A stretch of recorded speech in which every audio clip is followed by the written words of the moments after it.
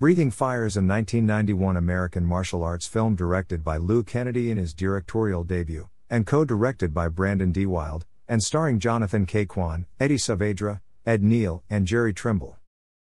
The film was released on direct to VHS in the United States on July 15, 1992. It is a remake of the 1977 Hong Kong film The Flash Legs that starred Tao Liang Tan, who executive produced and wrote this film under the pseudonym of Delon Tanners. This was Eddie Saavedra's first American film only. After the film, Saavedra has retired from acting. Michael Moore, a Vietnam vet, pulls off a bank heist with his gang, which includes the bank's manager. To ensure the loyalty of everyone involved, a set of keys is made to the hiding place for the loot so it can only be opened if all the members are present. These sets of keys were encrusted in a fake pizza mold that was later sliced and given to the gang. The bank manager gets cold feet and tries to back out, but Michael and his henchmen arrive to kill him and his wife in their home.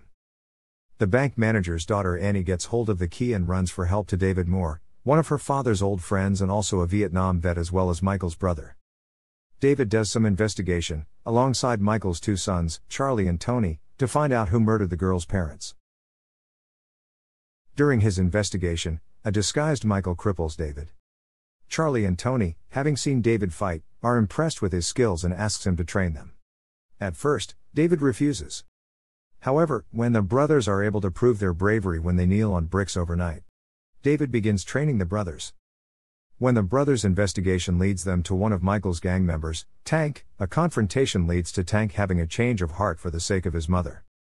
Tank decides to help the brothers gain intel, but Michael eventually finds out and kills Tank.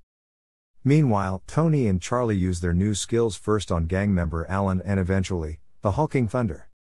When David and Charlie eventually learn Michael is the gang leader and the one who killed the bank manager, Michael confronts the two. However, trouble brews up when Michael reveals why he adopted his son Charlie. During their time in Vietnam, David caught Michael killing Charlie's birth mother and had convinced him to adopt the orphan baby. Shocked, Charlie is at first upset but then attempts to reason with Michael.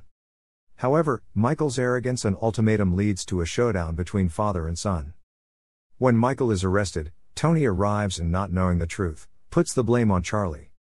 Tony vows to settle the score with Charlie at the National Taekwondo Tournament.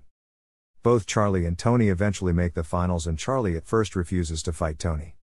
After getting berated by the referee, Charlie finally fights back until he lets Tony knock him out. Tony wins but is even more in regret when he sees an unconscious Charlie.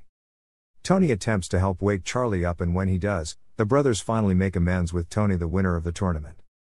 Jason David Frank was considered for the role of Tony, Frank turned down the role due to an injury occurred to him while training. The future Power Rangers star was then replaced by Eddie Saavedra. It is set and filmed at Chino Hills, Redlands, and Fontana, California, in 39 days on February 22 and April 2, 1990, with part of the movie filmed at the home of executive producer Peter L. Zong in Bradbury, California. The idea of the film came from former Kung Fu star Tan Tao Liang, who used the pseudonym Delon Tanners. Tan was running his martial arts school in Monterey Park, California at the time and was a mentor to actor Jonathan Ke Quan. Tan took the idea partly from his 1977 film Shaolin Deadly Kicks, which had a similar premise of a gang who steals a key and splits it in pieces. Tan also served as executive producer on the film. Thanks for watching.